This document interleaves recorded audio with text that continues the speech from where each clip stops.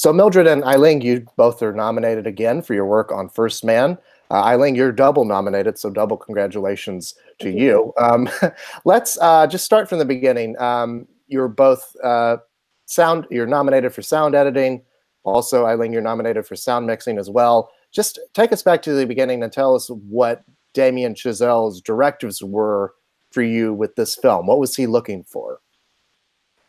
Um, okay, so um, we had an early conversation with Damien um, during pre-production after we read the script uh, to discuss with him, and um, he wanted, you know, um, space travel to have this um, kind of uh, claustrophobic, intense feeling, and and yet he wanted like space itself to have this like lonely, chilling feeling, and he showed us some of the animatics that he worked up um, that had a lot of some of the sound built into the animatics that kind of gave us a, an idea what he's looking for.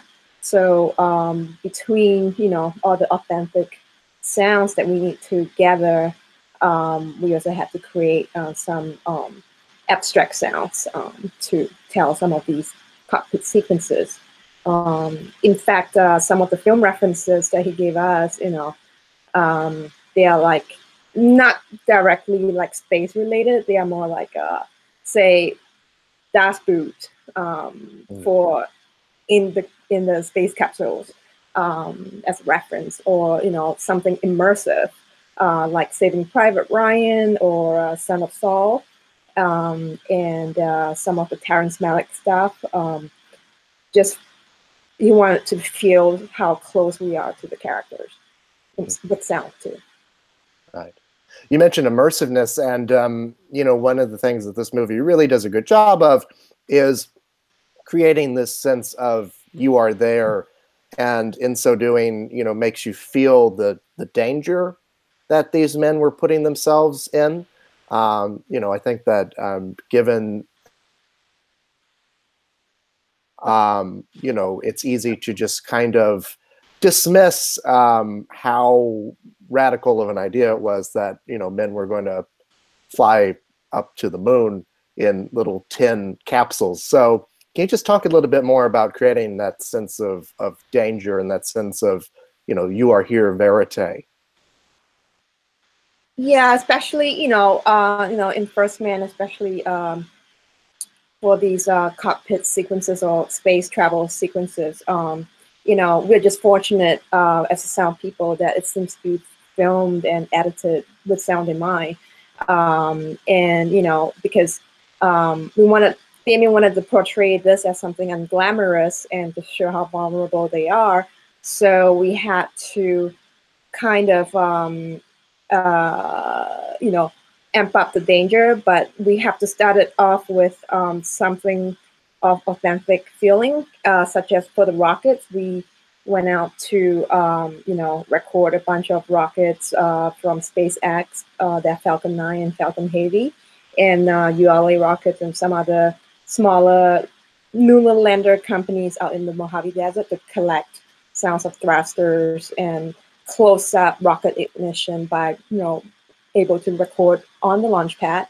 And um, also to feel the weight and size of these launches, to feel the G-force of it. Um, we also went to JPL uh, at NASA, um, well, actually in Pasadena, um, to record the acoustic chamber where they just blast um, uh, nitrogen gas into the chamber to recreate the acoustics uh, so that they could test hardware components um, to make sure they can withstand the environments during uh, and the sound pressure during a launch. So, the, like say for that, we had to, you know, in order to capture the low end of the rumble, we even like one of the mics that we used, we had converted a subwoofer speaker into a microphone, um, and um, and then you know we because we had to like transition the sound uh, into something more. Uh, mm, visceral, so you can feel this sense of anxiety for the astronauts. That's when we, you know, took creative license a little bit and, um, you know, use abstract sounds like, you know, um, introducing like uh, and manipulating sounds of animal vocals like, you know, elephant roars or um, lion growls or even animal stampede. So it sounds like it's coming out of the sound of the turbine or the rocket crackle or fireballs, um, just so we could play more into the emotion of the uh, astronauts. And, um, and, and of course, some of the shakes, uh, you know, um, John Fasal, Millie, and I went and recorded some um, motion simulator rides um, so that we could get the um, the natural shaking uh, when it injects low frequencies uh, into the vehicle. So it, the whole vehicle just shakes and shudders. Uh, so you feel like you're inside um, an, an, an, enclosed space being like tossed around. Um, yeah. Yeah, and the thing that was so exciting about this film for sound was that um, in two key sequences, like the X-15 and the um, the Gemini launch, you're literally in the capsule the entire time, so you never cut away and get to see what the heck's going on. So the sound has to tell the audience what's going on. So, and that took a really long time, right, to get it, like especially yeah. the X15 to get it quite right to help tell the story of what they were going through. Yeah, um, basically, you know, um, because Damien wanted to put the audience in the seat of the cockpit, and you know, um, and he wants these scenes to be claustrophobic and intense um, they uh, we only see what the astronauts see from these confined spacecraft.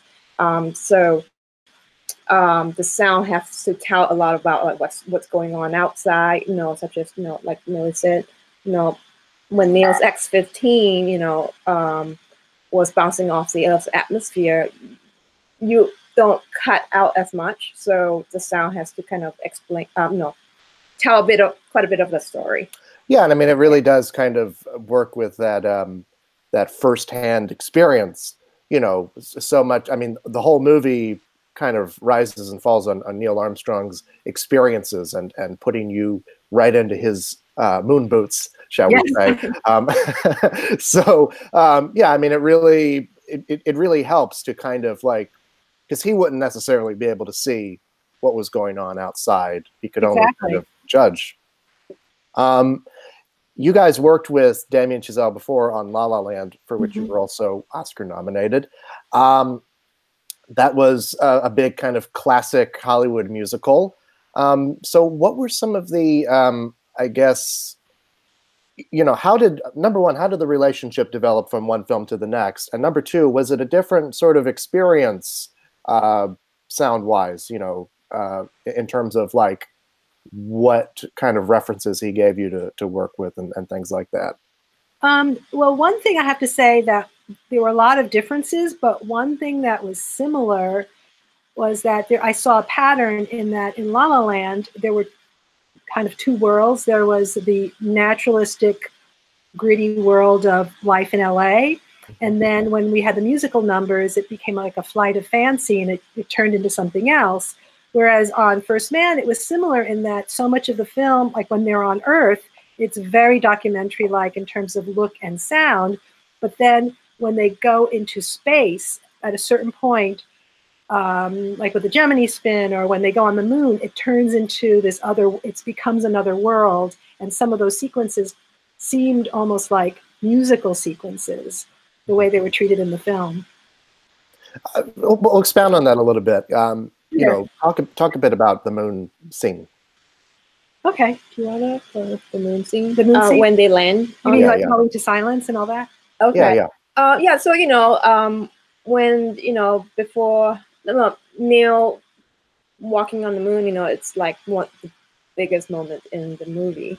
Uh, so for the big moments, um, we actually, you know, decided uh, with Damien and us, um, we kind of decided to actually uh, stay soundless when he's on the moon uh, for an, exp- an extended period of time. And uh, we actually go into, you know, pure silence, unlike, uh, you know, typically most filmmakers would add some kind of a low, you know, um, volume tone under that space, but um, we decided to play it without any sound.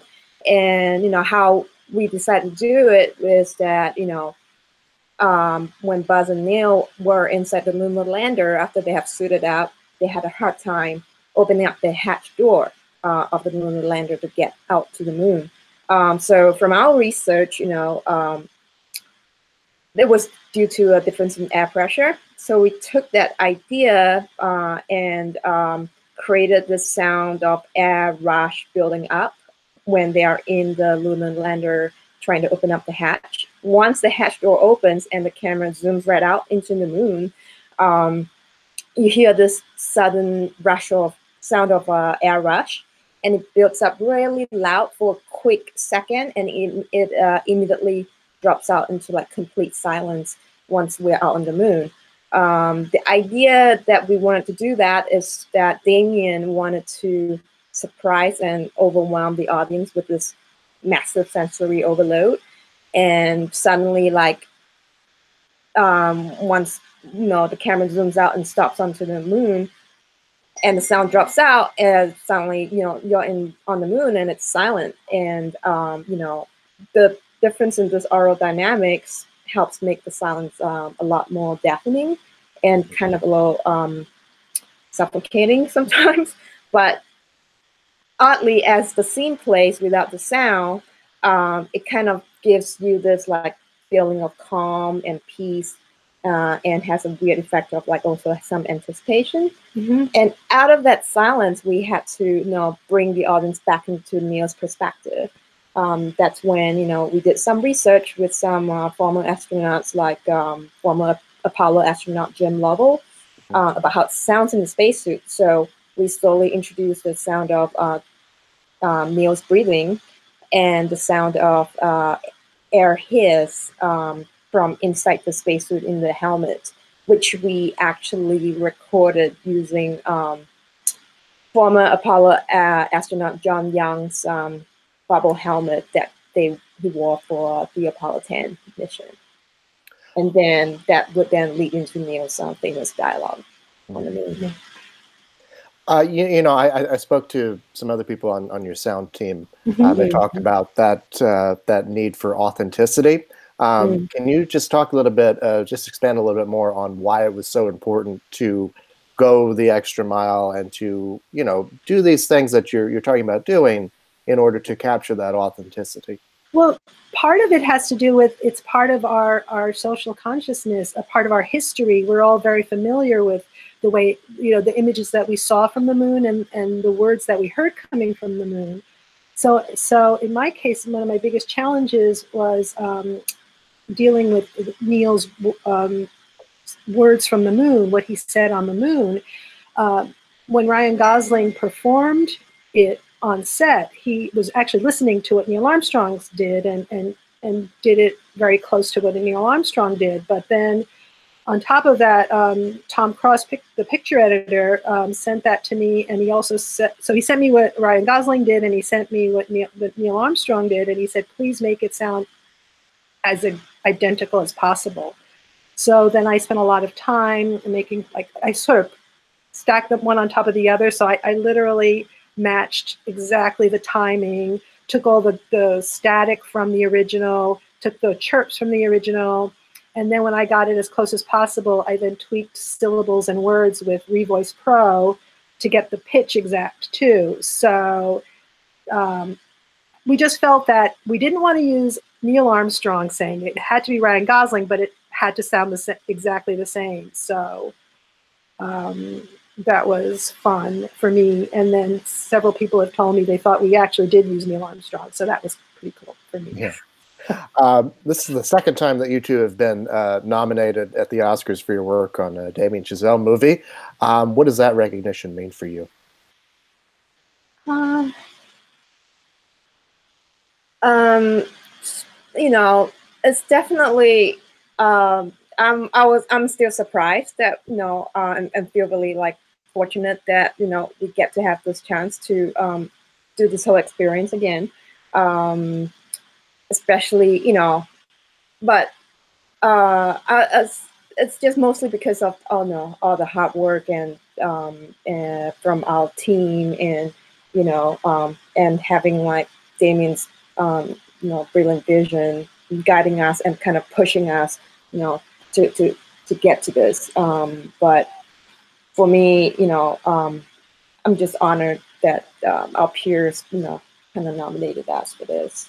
Yeah, and, and for me, I while we were working on the film, it was very intense. We had our, our schedule had been shortened a little bit because they had made that decision that they wanted to open the film at the Venice Film Festival, and so our our, our mixed schedule was shortened. So we had to work um, like every day the month of August, like literally every day, really long hours. And but the whole time it was it was one of those experiences where it's very intoxicating. You're you're sort of obsessed with the film, and you kind of get immersed in the whole process.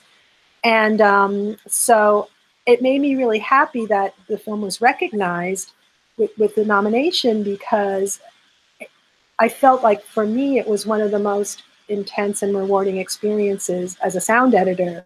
So it just an extra little, um, like I, I, like to call it like the cherry on top. It's it's made me incredibly happy that that um, it got recognized. Yeah, and, and also you know uh, you know on my end because well um, I do some of the mixing and effects work, and typically you know um, I'm just um I just felt like First Man was like especially important to say, you know, to me too, is because you know it's some film with lots of like um, action uh, in areas and heavy sound design um, that I just feel so fortunate uh, as a sound designer to be able to be a part of it that I get to mix and design and supervise. Because um, um, yeah, uh, just fortunate to be picked to be a part of this film too. Well, thank you both so much. Uh, congratulations again on the movie and your nomination. Uh, pleasure talking with you. Same here. Thank you Thank so you. much. Thank you. Have a